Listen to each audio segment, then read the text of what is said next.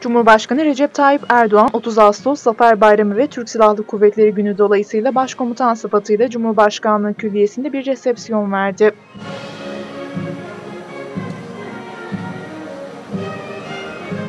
Külliyenin havuzu bahçe olarak adlandırılan bölümünde gerçekleştirilen resepsiyona Cumhurbaşkanı Recep Tayyip Erdoğan eşi Emine Erdoğan ile geldi. Cumhurbaşkanlığı tarafından 30 Ağustos Zafer Bayramı ve Türk Silahlı Kuvvetleri'ne özel hazırlanan kısa film gösteriminin ardından Cumhurbaşkanı Erdoğan bir konuşma yaptı. Bu büyük zaferi 95 yıl önce bizlere yaşatan ordularımızın başkomutanı Gazi Mustafa Kemal Atatürk'ü ve ordumuzun tüm mensuplarını milletimiz adına bu mücadeleyi yürüten Gazi Meclisimizin tüm üyelerini bin yıldır bizlere bu toprakları vatan yapmak için canlarını veren tüm şehitlerimizi özellikle son yıllarda terörle mücadelede ve 15 Temmuz'da verdiğimiz şehitlerimizi rahmetle, şükranla yad ediyorum. Rabbim hepsinin de mekanını cennet eylesin.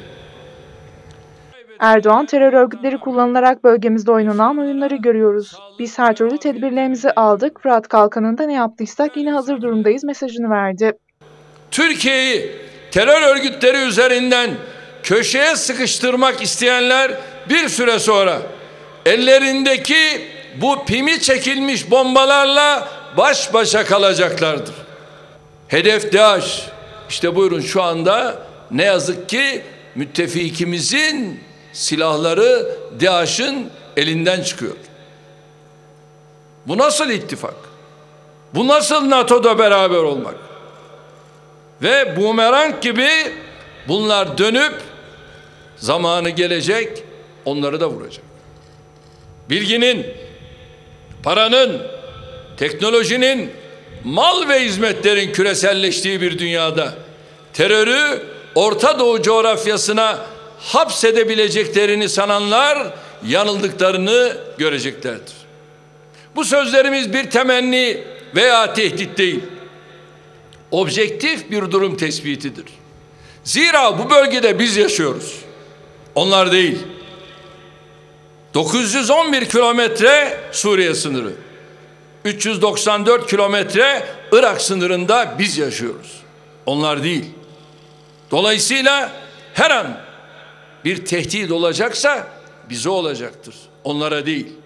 Dolayısıyla biz de buna göre her türlü tedbirimizi aldık.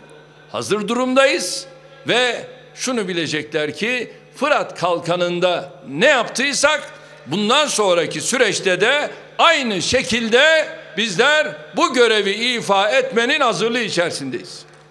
Türkiye sınırları içinde ve dışında yoğun bir mücadele verdiğine vurgu yapan Erdoğan şunları söyledi. Biz onlar gibi olamayız. Biz vicdanımızı, adalet duygumuzu, hakkaniyet ölçülerimizi bir kenara bırakarak sadece kendi menfaatlerimiz için önümüze çıkan her şeyi ezip geçerek hareket edemeyiz. Bunun için Suriye'deki, Irak'taki, Balkanlardaki, Kafkaslardaki, Kuzey Afrika'daki kardeşlerimize yüreğimizi açtığımız gibi Arakan'da zulüm gören mazlumları da yalnız bırakamayız.